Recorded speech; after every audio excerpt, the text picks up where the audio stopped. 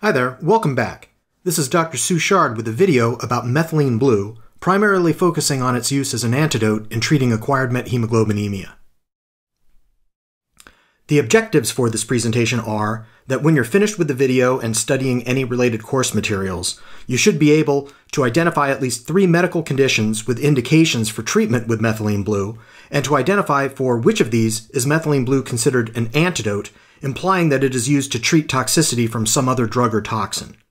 Be able to explain methylene blue's mechanism of action, and to describe the indications and dosing of methylene blue in treating methemoglobinemia.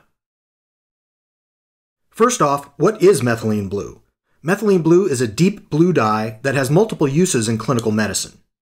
It's a dye, so it can be used to stain samples for microscopic analysis. When injected, the dye can be transported within the body, so it can be used, for instance, in cancer patients for sentinel lymph node biopsies. The idea here is to inject methylene blue near a tumor and then when the surgeon dissects out the regional lymph nodes, they can see which one receives lymphatic input from the tumor because it is dyed blue. So that node can be removed and inspected to see if the tumor is spreading through the lymphatic system. Similarly, you can assess the patency and connectivity of various cystic and tubular structures by injecting methylene blue in one area, in this example a renal cyst, and seeing where the dye flows to. Those examples of medical uses on the previous slide relied simply on methylene blue as a dye. However, when used as a drug, where it affects cellular biochemistry, the mechanism of action of methylene blue relies on its interconversion with leucomethylene blue through a redox reaction.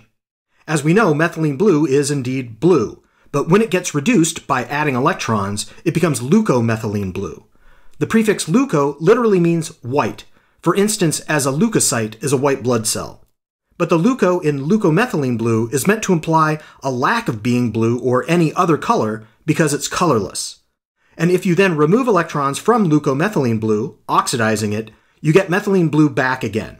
So we can predict that methylene blue could act as a cofactor in various oxidation reduction reactions in the body.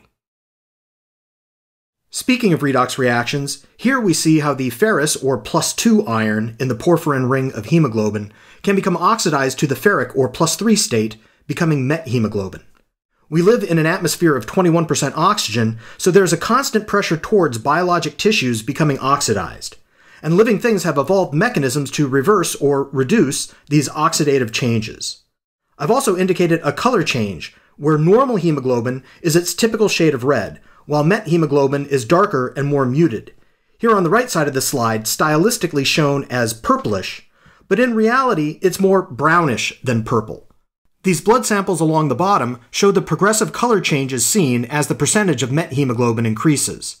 Since methemoglobin doesn't carry and deliver oxygen to tissues well, you can imagine that patients will have more signs and symptoms of hypoxia as methemoglobin levels increase and that some patients might develop signs and symptoms before the blood color change is grossly noticeable. I mentioned that methemoglobin is brownish, and you often see it mentioned as chocolate brown in the medical literature.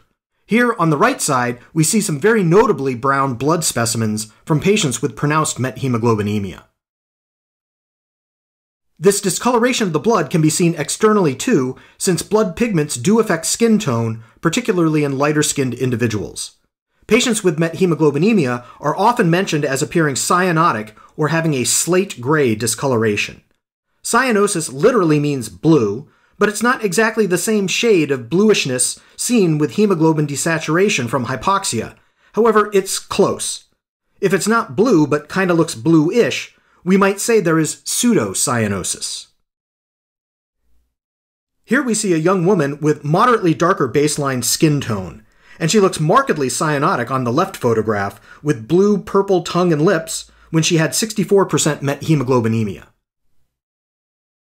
I mentioned already that our hemoglobin is constantly being oxidized to methemoglobin. This is happening at a low enough rate, and our bodies reduce it back to hemoglobin, such that our normal methemoglobin levels are limited to about 1%.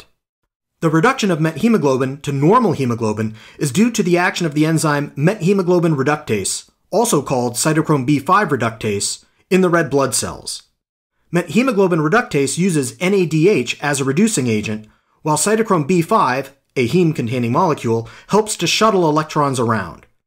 In a redox reaction, if something is being reduced, then something else is getting oxidized. And in this case, NADH, produced from glycolysis in the RBCs, is oxidized to NAD+.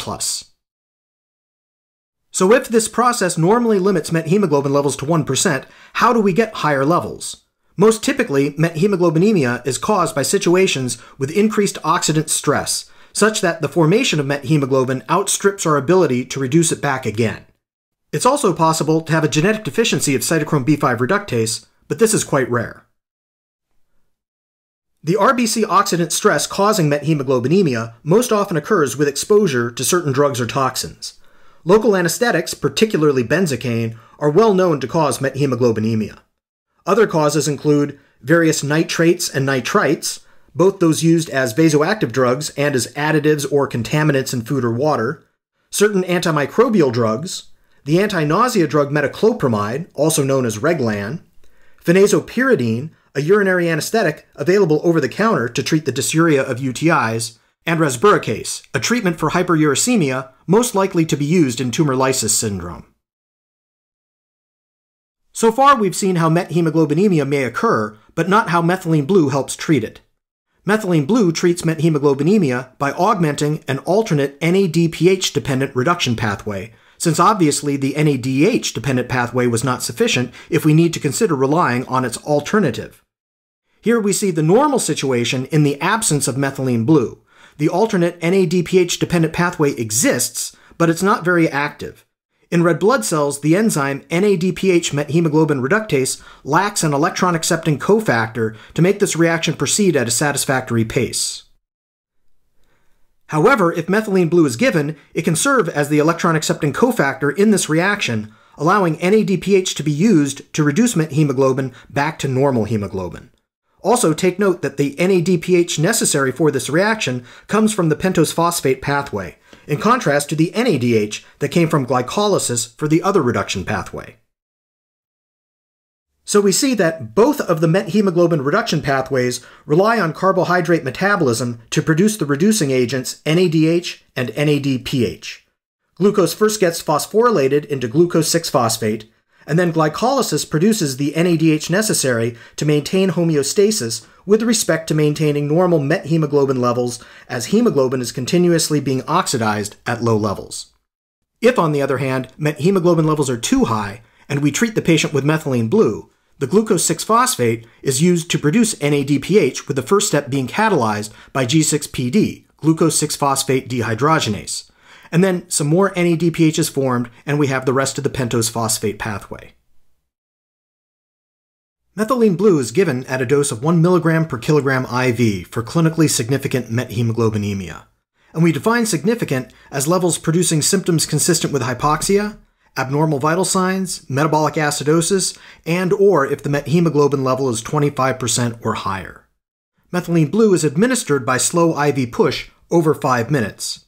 It is diluted with D5W since the chloride in saline can reduce methylene blue's solubility. And it is followed by a D5W flush since it can be irritating to the blood vessels. The patient is observed for resolution of methemoglobinemia, and the dose may be repeated if necessary in 30 to 60 minutes. The most common reason why methemoglobinemia might not resolve after the first dose is that there is continued RBC oxidative stress from continued presence of the substance that caused methemoglobinemia in the first place. A potential mnemonic device to remember methylene blue as a treatment here is blue plus blue equals pink. A blue patient from methemoglobin plus a blue drug makes the patient pink up. With regard to potential adverse effects of methylene blue, a few of them relate to it being a blue dye rather than its redox effects. Patients given methylene blue can appear persistently cyanotic. One reason we just mentioned is continued rapid methemoglobin production. Also, since methylene blue is a blue dye, it can temporarily make you blue, but this should be short lived. As a dye, which by its nature will affect light absorbance, methylene blue can interfere with pulse oximeter readings, making the monitor say the patient is still hypoxic, even if they aren't. Rarely, methylene blue can paradoxically make methemoglobinemia worse. If you are catalyzing a redox reaction, under some circumstances it might go the other way. And if this happens in a patient with G6PD deficiency, who have deficient NADPH production, this extra oxidative stress is more likely to cause hemolysis than in other patients. Thus, methylene blue should only be used with caution in patients with G6PD deficiency. IV methylene blue will ultimately be excreted into the urine, where the normal yellow plus blue now equals green. Also, methylene blue is a monoamine oxidase inhibitor, so it's possible to induce serotonin syndrome in patients on other pro-serotonergic drugs.